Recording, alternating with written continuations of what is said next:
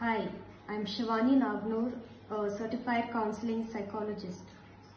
I also have an advanced master's in nutraceuticals from the University of Queensland. Along with counseling, I can suggest natural foods to calm the mind.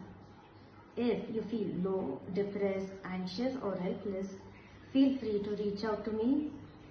I am here to help you feel good and positive and my sessions are confidential. In the meantime, please take good care of yourself